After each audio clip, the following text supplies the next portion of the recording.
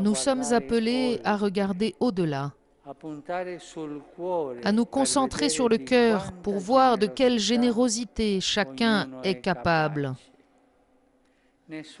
Personne ne peut être exclu de la miséricorde de Dieu. Personne ne peut être exclu de la miséricorde de Dieu. Tout le monde connaît le chemin pour y accéder. Et l'Église est la maison qui nous accueille tous et ne rejette personne. Ses portes demeurent grandes ouvertes afin que ceux qui sont touchés par la grâce puissent trouver la certitude du pardon.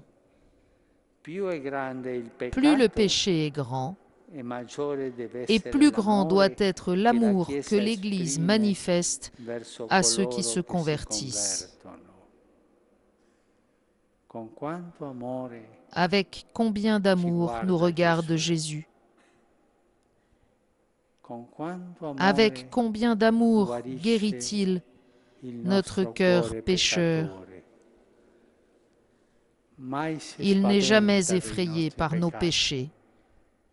Voilà un des passages principaux de l'homélie donnée par le pape François ce vendredi à la basilique Saint-Pierre, alors qu'il présidait la liturgie pénitentielle dans le cadre des 24 heures pour le Seigneur.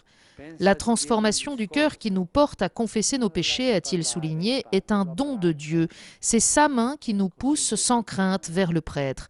On sort du sacrement de réconciliation avec des forces neuves, comme une renaissance, guérie par l'amour du Père. C'est ce qui arrive à la pécheresse repentie qui s'humilie devant le Seigneur pour obtenir son pardon. À l'inverse, Simon juge la femme et il est arrêté par le seuil des formalités sans pouvoir regarder le cœur.